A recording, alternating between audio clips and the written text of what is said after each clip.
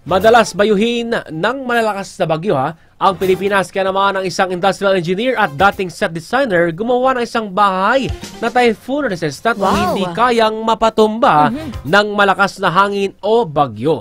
Ang kwento ni Hil Bien mula sa Bicol, naisip niyang gumawa ng isang bahay na resistant sa bagyo matapos ang pananalasa ng bagyo Rolly noong taong November 2020. Anya abot ng halaga ng bahay, magkano partner?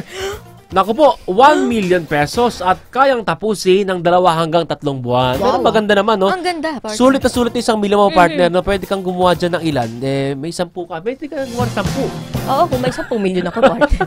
Off-site din ang pagpapagawa nito. Ibig sabihin, ginagawa muna ang bahay sa isang lokasyon. Matapos ito, ililipat sa lokasyon Ay, na nagpagawa. So, mas mabilis yung partner. Pwede, oo. Oo, hindi mismo sa... Kasi yun yung mga maka, makabagong Mm-mm. paggawa eh. Nakikipag-ugnayan na rin si Biel sa lokal na pamahalaan para naman sa mga kababayan nating lagi naapektuhan Yun. ng bagyo. Tama. Like mates, magandang pag-ipunan ng ganitong klaseng tirahan dahil ang bagyo, taon-taon na po nating nararanasan. Tama. Ayun.